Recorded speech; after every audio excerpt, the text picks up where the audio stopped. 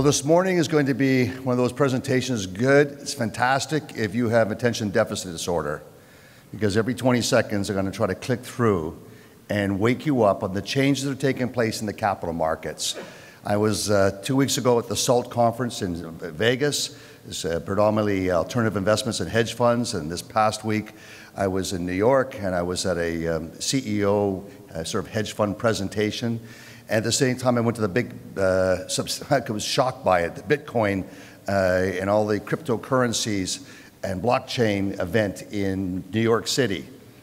And I was telling Jay that I was just shocked because it was, uh, Rick will remember at the um, Marquis Hotel, the Marriott. So it used to be packed for the gold show. Well, this is three times bigger. Uh, and so I'm going to try to walk you through to understand how things are changing quickly. Regulations is a big part and how it moves and morphs capital. But the hedge funds and the quants and how they look at gold stocks is totally different in my, my trips going around visiting gold analysts on the sell side. And what they think is working and selling, there's no audience. Uh, the bulk of the money last year went into the GDX and GDXJ. Uh, I would say something like $5 billion alone with the GDXJ. And then recently, uh, they found that they were going to own more than 20% of 20 companies, and they had to reposition and sell a bunch of juniors. So the whole industry, even if you had fantastic results last quarter, it didn't matter. There was $3 billion of headwind being sold into the marketplace. That provides you a good opportunity if you understand why it's being sold down. If you don't understand, you become frustrated and you just blow out your stock along with this sort of sell side volume. That's how capital markets are switching and changing. And now we're going to start off with the Trump and dump bot. And this is happening in gold. And this is happening, and I've seen this and I'll articulate it more, but let's watch this little clip here. Anytime a company mentions moving to Mexico or overseas or just doing something bad, he's on it. He tweets, the stock tanks. Tweet, tank. Tweet, tank. Tweet, tank. Everyone's talking about how to make sense of all this. T3 thought the unpredictability of it created a real opportunity. Meet the Trump and Dump automated trading platform. Trump and Dump is a bot powered by a complex algorithm that helps us short stocks ahead of the market. Here's how. Every time he tweets, the bot analyzes the tweet to see if a publicly traded company is mentioned. Then, the algorithm runs an instant sentiment analysis of the tweet in less than 20 milliseconds. It figures positive or negative. A negative tweet triggers the bot to short the stock. Like earlier this month, his Toyota tweet immediately tanked the stock, but the Trump and Dump bot was out ahead of the market. It shorted the second after his tweet. As the stock tanked, we closed our short and we made a profit. Huge profit. Oh, and we donated our profits here. So now, when President Trump tweets, we save a puppy. It's the Trump and Dump automated trading platform. Twitter monitoring, sentiment analysis, complex algorithms, real time stock trades. All fully automated, all in milliseconds. And all for a good cause. From your friends at T3. Now, this is happening in the gold space, and it happens in seconds that they're able to take a look at a country's currency, the South African rand versus South African gold stocks versus the dollar, and immediately a trade is being put on. It predominantly goes through the futures market and where most of the gold manipulation takes place is predominantly through the futures market, especially when there's a holiday in China. Uh, China is now the, the global gold price maker, not the taker when it comes to gold. And it's recognizing how these capital markets change and form. And this past week, there was a Wall Street Journal story regarding the quants taking over. How many of you saw this article, taking over Wall Street? No one here? Well, look, Google it. Quants overtaking Wall Street, Wall Street Journal young kids, uh, never did anything in finance, is a Russian immigrant, uh, wins a, a, math, a math competition, and immediately he's bid up. And his base salary, Rick, is 700000 He's 21 years old. Uh, that's how this sort of world is changing, that they're looking for patterns. You take all this data and you try to take unconstructed data and then you try, look for a pattern and they can trade in, a min, in basically a nanosecond but they're looking at words and they're, they're analyzing, such as Trump has three words he likes to say as a, pro, as a, as a amplifying his, his, his adjectives is very, very, very. And the other one is really, really. The analysis has been done. He says very, very, very three times. He says analysis, and, and he says um, really, really twice. And most often, he will say that it's because of a rich friend uh, or an important friend is his evidence of why he, you should listen to him. Uh, it's understanding that these quants have turned around and done this data mining, and it creates short term volatility, which can be to your favor if you understand why. This is a fantastic book. I highly recommend it. It's how your brain can think quickly and think slowly, process its left and right brain. Uh, Daniel Kahneman uh, is a Nobel uh, laureate for his behavioral finance research. So, what's happening today? So, if information were the answer, we'd all be billionaires and have perfect abs. It was a sarcastic part in, uh, in these presentations I've I recently uh, heard. But what's happening to me is, is, is look at the data venture capitalists have been spending. You can see this number here. It's a, almost a billion dollars two years ago going into artificial intelligence and machine learning. And what is the difference I hope to walk you through? So, machine learning is not about explicit programming processes. It's not like your bank account reconciles to a zero trial balance. It's more of a heuristic. When you were a kid and you learned to ride a bicycle, you didn't know the laws of physics to explain why you fell down. But you knew after time, it's called the tacit knowledge, you learned to balance yourself, and 20 years later, you get on a bicycle, you can still ride your bicycle because your brain, your brain is being able to process and create the neurons based on heuristics. And so now they're using this data, and we all take it for granted when we look at GPS, but GPS is all about using heuristics. It can't tell us ex exactly that Rick is nine feet away from me, but he can turn around and say he is within 30 feet of me. Uh, if they're able to track the GPS through iPhones. It's recognized and they're looking at the stock market and data this way. So your path to deeper insight is machine learning is used to build everything from, from voice recognition, which you take for granted, to cities and intelligent cars. And, and it's a big part of your intuition. They are looking for as many case studies of great wins in the stock market and great disasters. And they go back and analyze the words in all the press releases. And because everything has gone to the cloud, the cost of processing stuff has fallen 90%. That's the big, the, the, the advent of this breakout in artificial intelligence and Google's put a lot of money into it. Uh, it's because of the capacity of looking at the data, unconstructed data, and, and, creating something constructive out of it. So the ability to operate in complex systems without having to articulate the procedures, like I said, riding a bicycle. So we operate, most of us operate in a set of approximate rules known as heuristics. It's how we function. And machine learning looks for patterns to produce approximation of rules. And machine learning requires a large, large, large set to produce strong intuition for complex system behaviors. They, the, the data is looking at every case study. And it, to me, it's most fascinating that there is more research in America on energy and oil fields and gas fields and data than there is on healthcare. And so the most successful companies have been applying this technology, and that's why fracking was able to explode, is because America's been a leader in data analysis. And now this is rolling into healthcare, and why most of us will live to over 100 years old, is being able to apply all this math to the data from, from all the food you eat, from your exercise, etc. So you think of this machine learning is designed to approximate your behaviors and come, it's imprecise. But as you can see, regarding words of the Trump bot, and this is real, that in, a, in, in one fifth of a second, it's able to go borrow from TD Waterhouse a stock and short it. So the software they say is eating the world, but machine learning is eating everything else. Now you take it for granted face recognition when you come through the airport, or voice recognition, and seismic imaging. They're all using machine learning. This tacit knowledge along with in inductive thinking and heuristics, is where the world's changing in analyzing stocks' words. It shocked me that 18 months ago, Janet Yellen had to come out and make a press release that the 250 page white paper had two words that were not supposed to be there.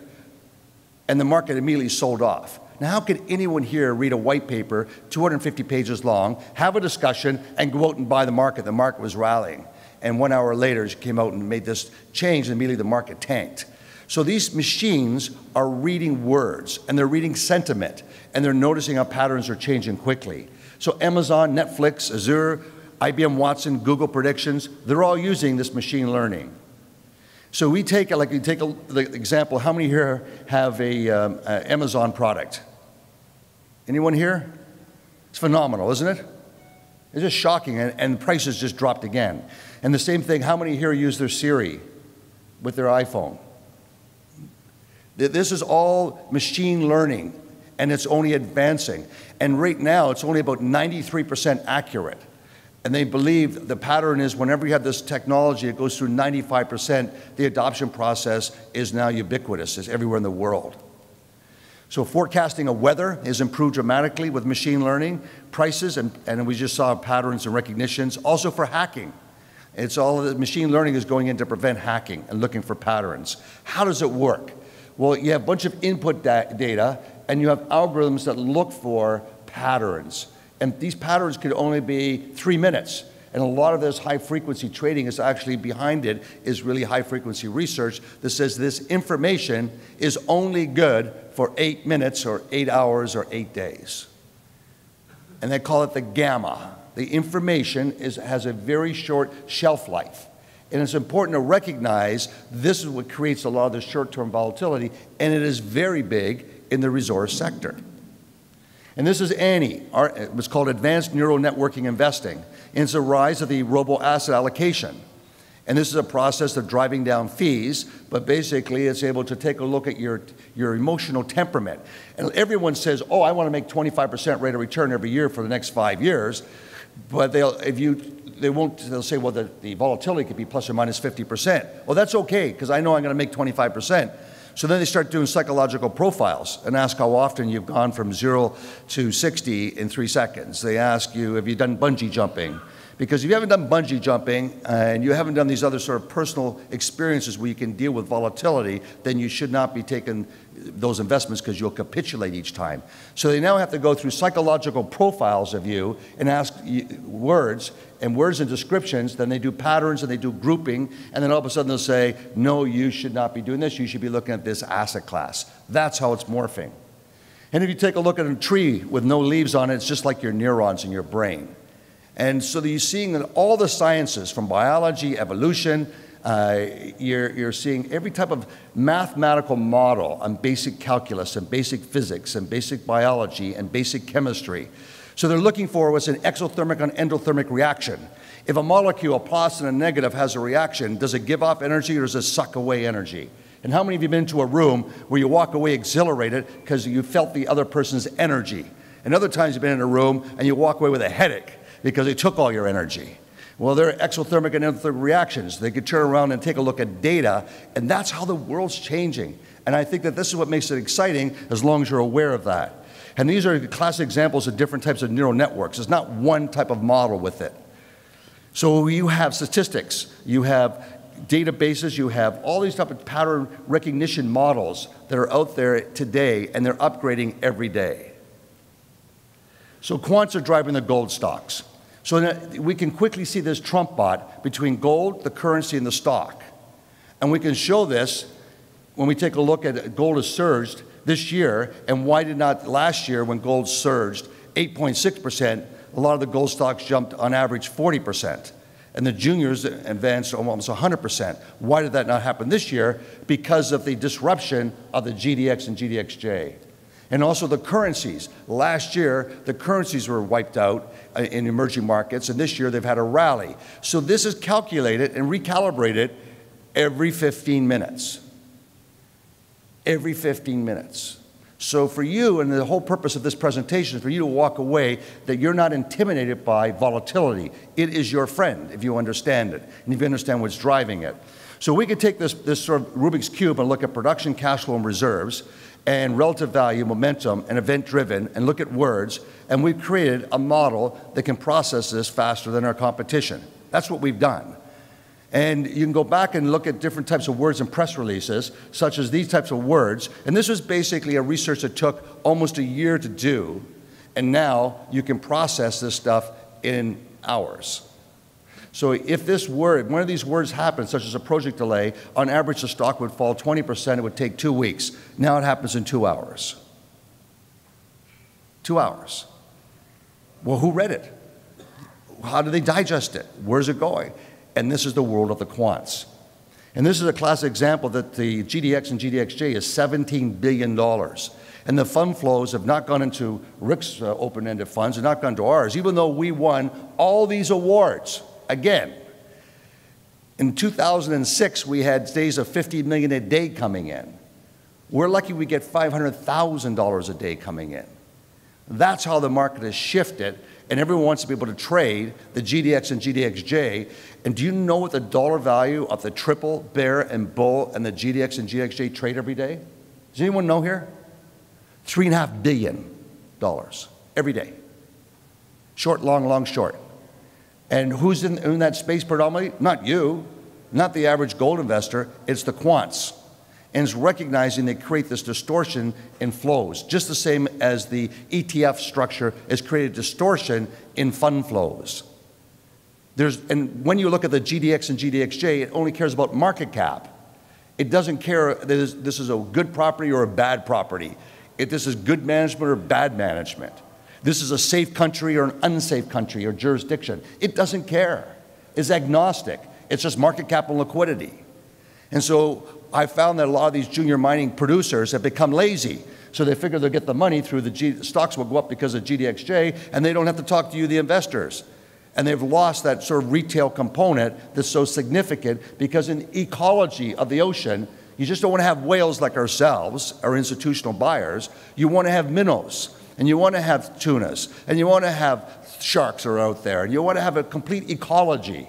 And what's happened now is this ecology has been morphed for many reasons.